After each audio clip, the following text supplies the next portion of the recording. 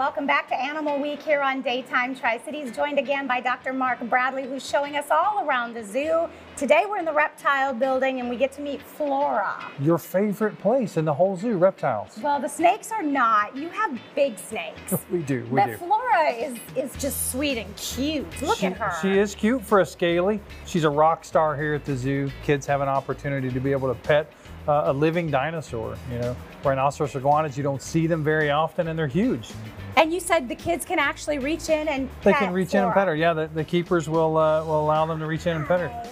Hi. Oh my goodness. And you were telling me about her scales. Yeah, her scales, she got scales along her back and they will continue to grow. They're kind of like our fingernail, so they'll shed those from time to time.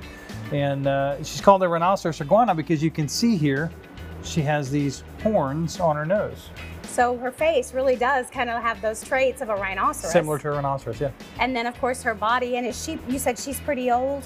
She is, she's about 18 years old, so they'll live 20, 25. So uh, she's been around a while and is doing well in her advanced age. Doing well. And she's she's been um, eating a little something over here. Yeah, she's got a little bit of a, a reptile mix there. She also gets fresh greens every day. Oh, she prefers a nice salad. Nice huh? salad, absolutely. All right. Well, Flora, thanks for letting us meet you. And I know you said she's pretty popular here. She is, absolutely. See, we're meeting all the real popular ones, although Yeah. the walk through the zoo, I mean, you have so many different animals from all over. What an educational experience. Absolutely. Love it. All right, to book your visit, go to their website, creationkingdomzoo.com.